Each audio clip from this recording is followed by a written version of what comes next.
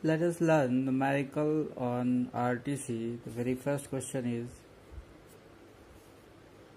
the shunt winding of a motor has a resistance of 35.1 ohm at 20 degrees Celsius. Find its resistance at 32.6 degrees Celsius. The temperature coefficient of copper is 0.00427 per degree Celsius at 0 degree Celsius. So what is given let us write. Uh, they have given resistance at 20 degree is 35.1 ohm they are asking what will be resistance at 32.6 degree. Alpha 0 of copper which is a standard value also 0.00427 per degree celsius. Right. So by formula we know that r2 is what? R1 1 plus alpha 1 t2 minus t1 similarly r 32.6 will be R20 1 plus alpha 20 and 32.6 minus 20 the what is given. R20 is given. It is unknown.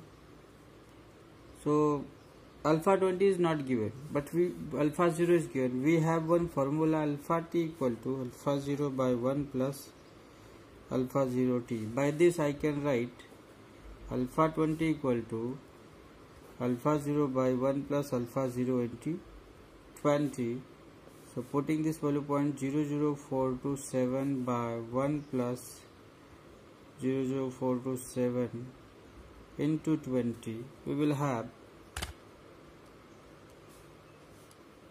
point 00427 divided by 1 plus point 00427 into 20 this comes as 3.93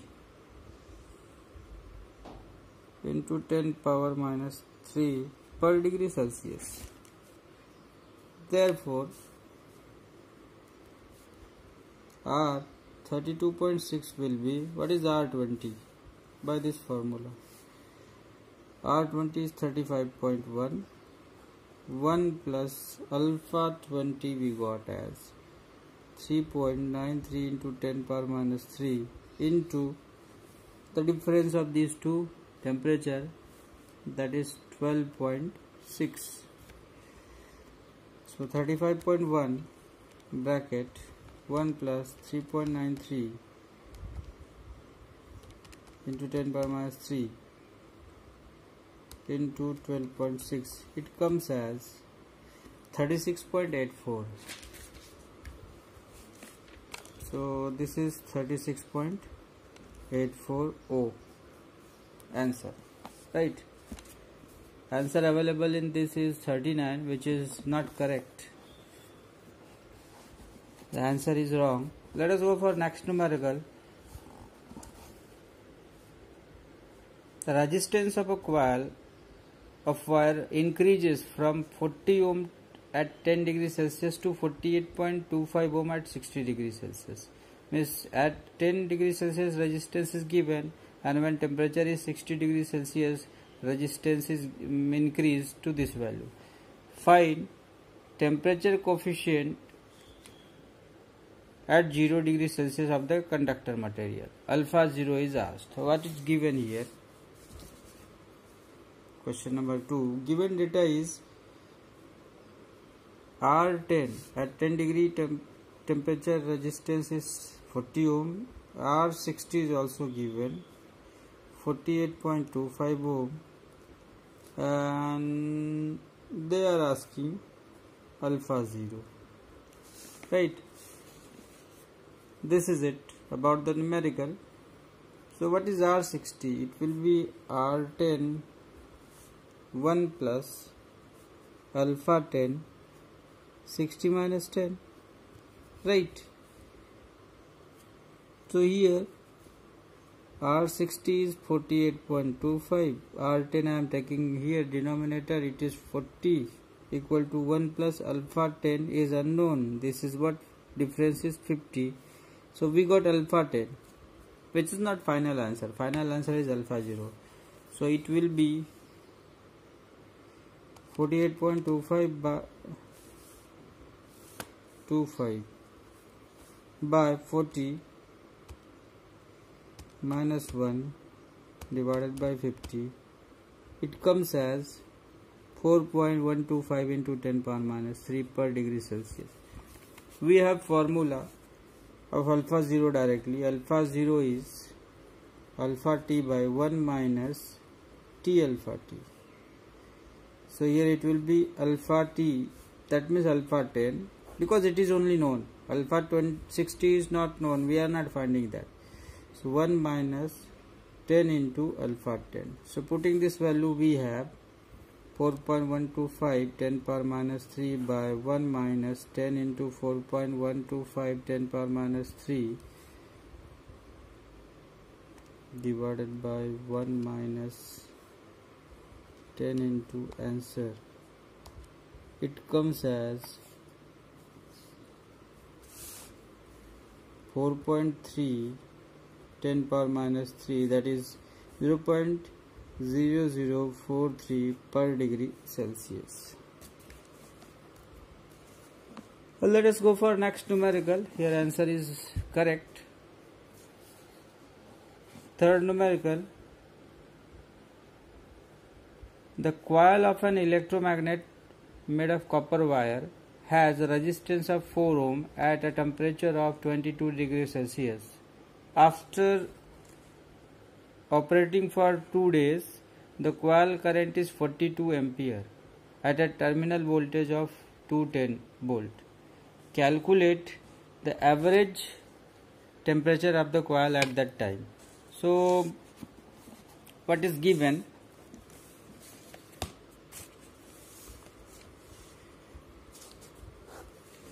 they are saying that copper wire having 4 ohm resistance at 22 degree Celsius. So R22 degree is 4 ohm.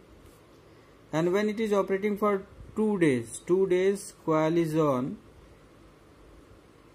coil is on then the current is 42 ampere. And here voltage is 210 volt they are asking what is average temperature of the coil at that time when this is the scenario when current is this one. So they are asking T2 when coil is on after 2 days coil temperature will be high.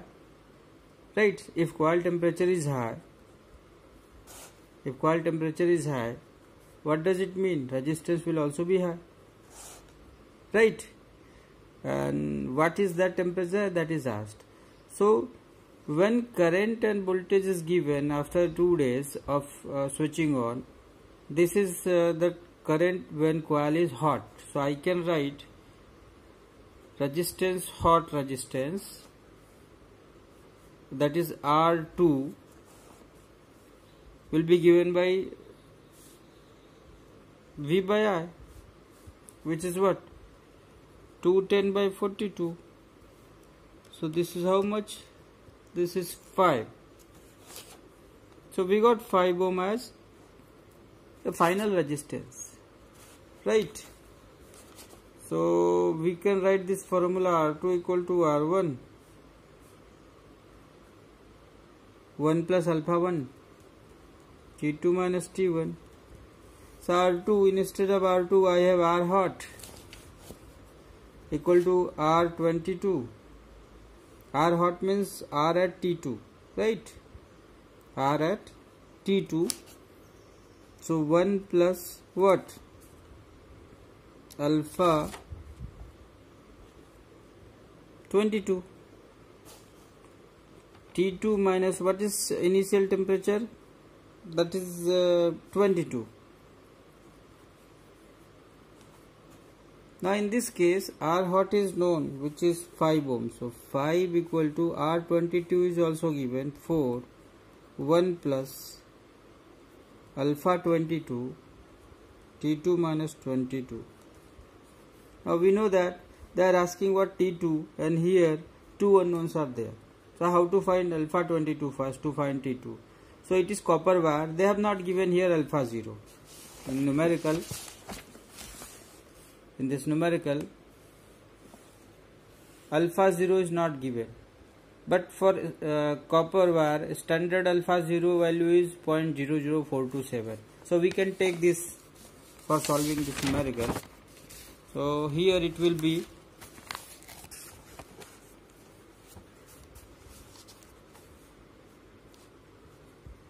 alpha 0 equal to um, 0.00427 therefore alpha 22 can be calculated as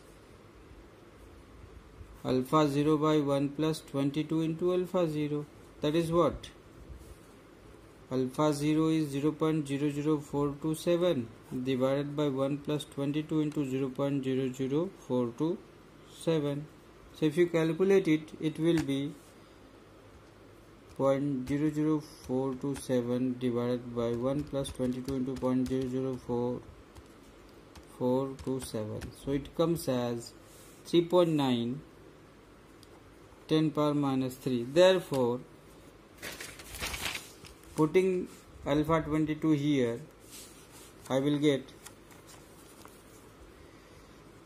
5 equal to 4 1 plus 3.9 into 10 power minus 3 t2 minus 22 right. So it is what? 5 by 4 minus 1 divided by 3.9 divided by 10 power minus 3 plus 22 we got T2 as 86.1 degree Celsius. Right. Let us go for one more numerical. The question is given that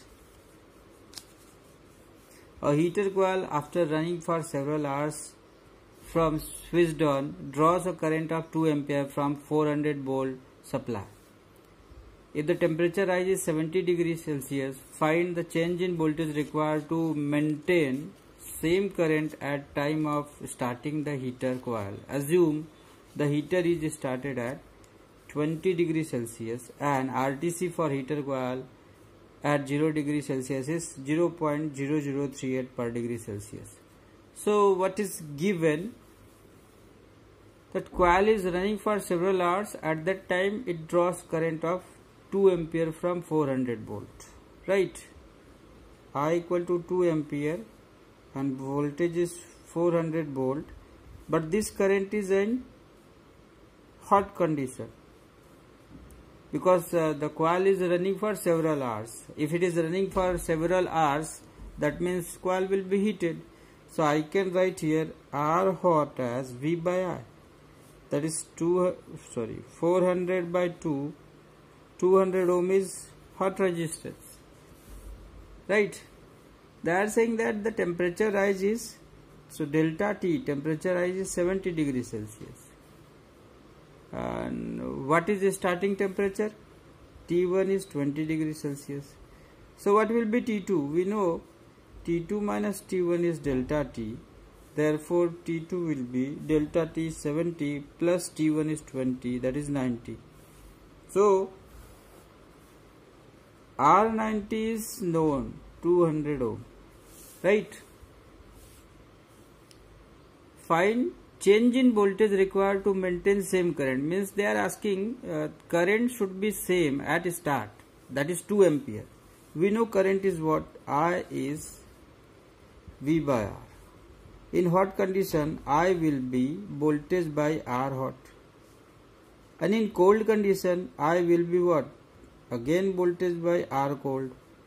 We know that in hot condition resistance is high, right? So current will be high. Sorry, current will be low. And in cold condition resistance is low, therefore current will be high. but they want this to be same so as I am saying I hot V by R hot and I cold V by R cold we know that this is high value and this is low value. So to maintain this constant in second case starting condition that is cold condition if it is low this value will be high.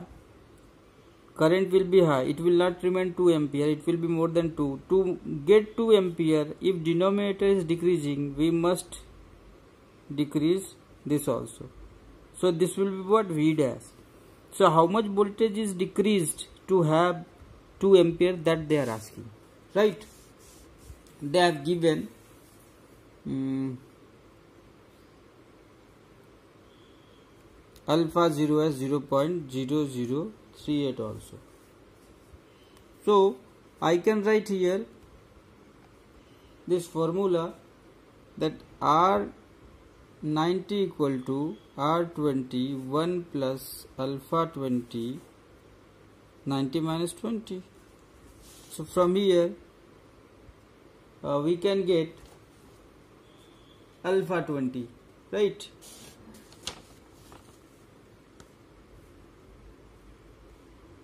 So alpha 20 will be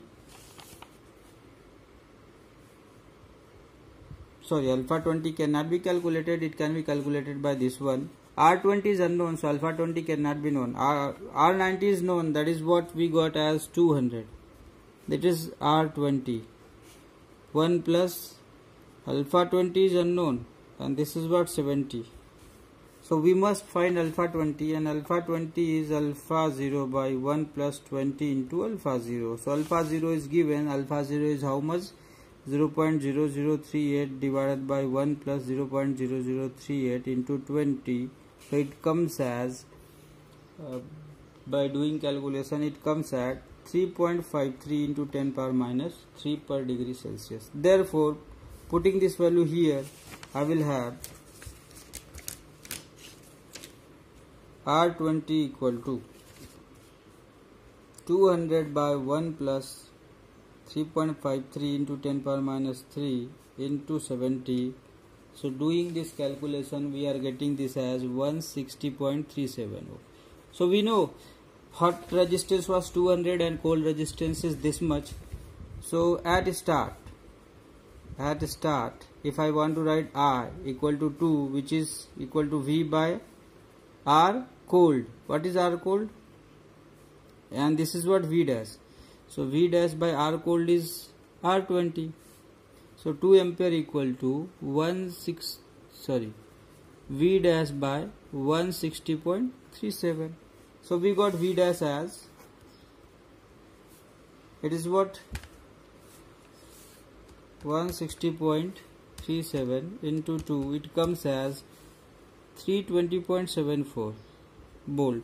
So initial temperature uh, initial voltage must be this much. But they are asking what volt what should be change in voltage. That means voltage initially was 400 so how much voltage must be decreased to get constant current at the start?